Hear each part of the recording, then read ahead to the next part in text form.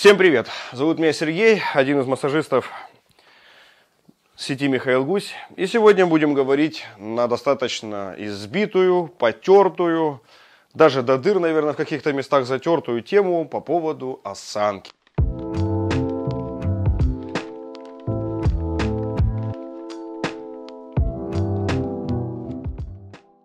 Что же такое осанка? Что на нее влияет? Как с ней можно работать, как на нее можно положительно влиять.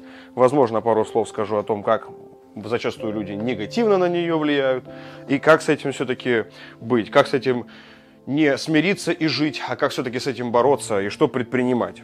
Естественно, в ключе нашего массажа или нашего студийного, так сказать, профессионального подхода к оздоровлению человека с помощью массажных манипуляций. Начнем с более таких вот корневых вещей. Что же все-таки это осанка? Очень много определений, вы можете загуглить. Самое интересное, конечно же, у Даля. Ну, можно не у него, можно посмотреть в Википедии, ну, там вы вряд ли что поймете. В двух словах, что же есть такое осанка? Как она формируется? Начну с того, что формируется осанка как раз именно тогда, когда человечек становится на ножки. То есть приблизительно где-то с возраста, как правило, 10 месяцев, когда ребенок становится на ножки, начинает формироваться его осанка. Что же есть сама по себе осанка? Это, в принципе, является мышечный стереотип вдоль позвоночного столба, который сложился со временем. Со временем хождения и разных движений, положений человека. Вот, собственно говоря, и все. И отсюда мы можем плясать. Что, что мы можем отсюда плясать? Очень просто. Мы можем разбирать, что же влияет в таком случае на эту осанку. То, что я и сказал. Как вы ходите, стоите, сидите, лежите. Ну и бог знает, чем еще занимаетесь. Все это будет влиять на вашу осанку. Но прежде всего самое ключевое, что влияет на осанку, самое основное, это то, как вы ходите, как стоите и как сидите. То есть непосредственно формирование э, мышечного стереотипа вдоль позвоночного столба. Безусловно, я теперь скажу, наверное, одну штуку, которую вряд ли кто знает или мало кто придает этому значение. А кто-то и не хочет, в особенности из массажистов или из специалистов массажа, или и наоборот из клиентов, приходящих к нам, не хочет акцентировать внимание. Это вопрос работы с ногами. Почему? Я уже сказал. Потому что человек, когда ходит, все это отображается, все, что касается вдоль позвоночного столба. То есть на паравертебральной зоне.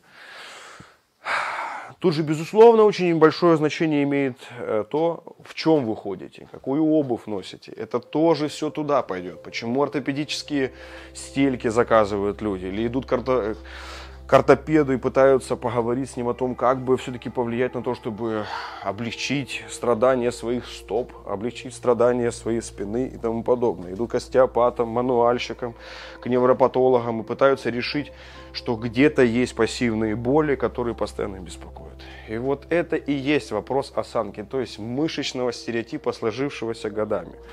Пока человек юн, молод, Организм способен компенсировать все вот эти вот недостатки, которые идут непосредственно в нагрузке на мышцы, создавание, так сказать, этого стереотипа.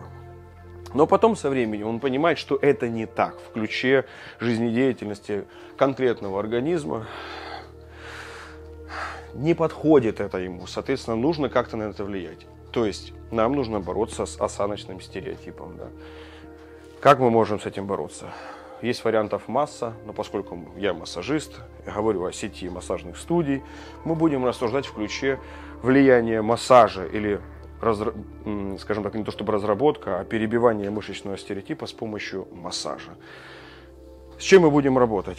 Как я уже говорил, вопрос спины – это, по, по сути, проявление осаночных проблем, да, то, что люди там видят, так как мы хордовые, позвоночник и прочее, прочее, прочее. Но мы будем работать и с ногами, потому что это то, что в первую очередь влияет на создание мышечного стереотипа вдоль позвоночного столба. Что мы делаем? Модель я уже нашу разогрел руками. руками. Вот, э, вы видите, пошла уже гиперемийка, уже пошло покраснение, что говорит о том, что температурка уже здесь достаточно хорошая, кровь немножко прилила, организм весь во внимании. Что мы будем ему говорить?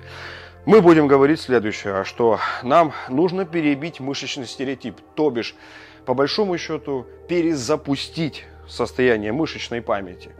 Что мы будем делать? Естественно, сначала будем постепенно, постепенно влиять на мышцы вдоль э, позвоночника и близлежащих, которые являются компенсаторами, которые являются, естественно, вспомогательными на уже верхние конечности, на нижние конечности.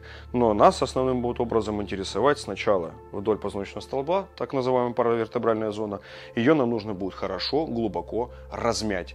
Но сделай большой акцент. Очень часто специалисты подразумевают под очень хорошей проработкой, как это я говорю, отрывать мясо от костей. Но в данной ситуации нас это не интересует. Вообще ни в какой ситуации у адекватного специалиста не должно такого присутствовать, как снимание мяса или отделение мяса от костей. Мы не в ресторане, мы не готовим сейчас свиной бок или бараньи ребрышки. Мы работаем с живым человеком, которому потом с этим еще жить. Разминаем я уже все прогладил, растер, и мы теперь можем хорошо разминать. Я буду разминать добротно, спокойно, потихонечку. Я не буду прикладывать сильно больших сил, я не буду сильно акцентировать внимание. Почему? Потому что с данной моделью я работаю впервые. И ее осанку я только вижу впервые, историю болезни знаю только сейчас, поэтому я только могу разработать определенную стратегию, по которой я буду работать с ней. Но если это речь идет о конкретном клиенте, вы должны с ним разработать стратегию и сразу ему озвучить, что для того, чтобы работать с осанкой, нам нужно время, и это время может быть как от 10 стандартных привычных сеансов, курса из 10 сеансов, так и больше. Зачастую, если речь идет об осанке, о стереотипе, который нужно разбить, перезагрузить, это далеко за 10 сеансов. Плюс ко всему прочему, всем специалистам на заметку, как говорится, лирическое отступление – Возьмите себе за понимание, что кроме того, что вы работаете с мышцами человека, кроме того, что вы работаете частично с его психологией, закидывайте ему обязательно очень важные моменты сопутствующего характера. Прорабатывайте с ним, как он спит, в какой позе, как сидит, как ходит, ходит ли вообще. Потому что если человек не ходит, то с останкой мы тоже бороться не сможем никак и так далее. То есть прорабатывайте ключевые позиции, по которым мы можем определить или можем поспособствовать изменению в положительном смысле осанки или осаночного стереотипа. Все, поработали, поразминали и так далее. Более того, при определенной нагрузке можем снять небольшие функциональные блоки, анатомические. Это, по сути, элементарные трастовые манипуляции,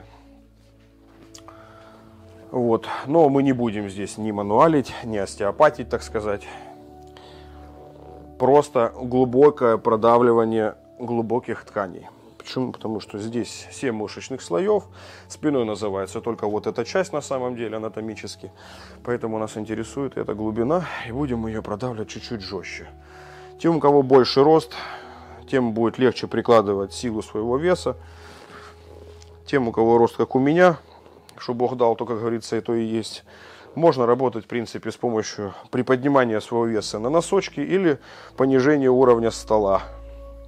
Если кому-то тяжеловато это делать, можете, в принципе, залазить сверху и тоже давать уже симметричное, глубокое давление с помощью своего веса непосредственно вот эти зоны. Опять же замечу, что вопрос здесь не идет работы с триггерами и прочей-прочей историей работайте именно на перезагрузку мышц. Это планомерная, постепенная, с каждым сеансом повышающаяся история по нагрузке, по перезагрузке именно мышц. Слой за слоем прорабатывайте, слой за слоем прорабатывайте, углубляйтесь. Поработали с ногами, ой, господи, с телом, с спинкой. И перешли на ножки. Ножки в таком же самом стиле, в таком же самом духе. Просто хорошо разогрели, потерли и после этого проработали для того, чтобы встряхнуть систему, простимулировать ее на перезагрузку. По сути то же самое, только здесь конфигурация значительно проще, строение значительно э, яснее, понятней. Здесь ничего сверхъестественного уже не будет. Обязательно хорошо проработать икроножные, бедра, и, конечно же, неплохо поработать со стопами или со стопами. Ну вот, в принципе, и все. Кому что было непонятно, спрашивайте в комментариях. Кто более лучшего контента создать не может, хейтерство, пожалуйста, не пишите, потому что, собственно говоря, труд это непростой, требует очень большой подготовки и опыта. Всем спасибо, желаю всем успехов, работайте над собой, приходите к нам в нашу сеть. Куча специалистов высокого класса находятся именно в этой сети, и они всегда рады вам помочь и поспособствовать улучшению ваших осаночных вопросов. Всем спасибо, подписывайтесь, ставьте лайки. С вами был я, как всегда, Сергей. Чао!